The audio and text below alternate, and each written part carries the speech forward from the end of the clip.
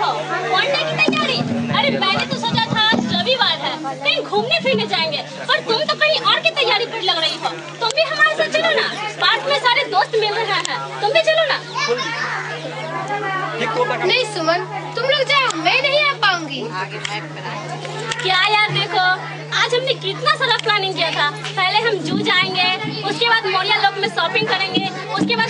शाम में मूवी देखने जाएँगे। कितना मज़ा आएगा फुल टाइम मस्ती इतनी अच्छी आज़ादी। माइक के पास। माइक के पास आ करके वाह इतनी अच्छी आज़ादी।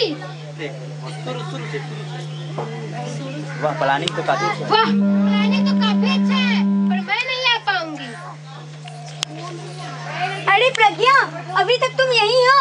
वहाँ नुक्कड़ सभा की टोली कब से तैयार बैठी है? वो पढ़कर मुझे थोड़ा विलम्ब हो जाएगा तुम लोग निकलो।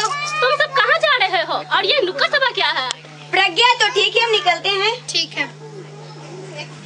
सुमन हम कहाँ जा रहे हैं? और ये नुक्कड़ सभा क्या है? वो सब तुम बाद में समझना इससे पहले तुम कहीं चलने की बात करते और संडे का मतलब भी समझा रही थी। मैं कह मैं कह रही थी आज रविवार है। छुट्टियाँ ही छुट्टी आज मैं कह रही थी आज रविवार है। छुट्टियाँ ही छुट्टियाँ हैं। तो कहीं घूमने चलते हैं मस्ती से शॉपिंग करेंगे उसके बाद पिक्चर देखेंगे।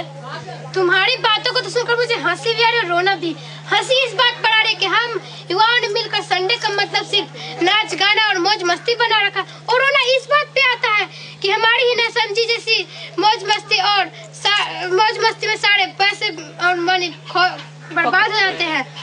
और तो और गर्व से कहते हैं मज़ाक है। मौज मस्ती करने की पूरी यदि सुमन मैं तुमसे पूछ चुके संडे का मतलब यही होता है? तुम कहना क्या चाहती हो? मेरी तो समझ में ही नहीं आ रही है।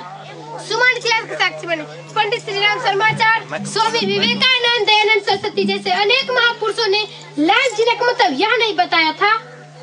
अच्छा ज़िंदगी को अपने तरीके से जीना क्लब डांस मौज मस्ती अगर यह आज़ादी नहीं है तो फिर आज़ादी है क्या?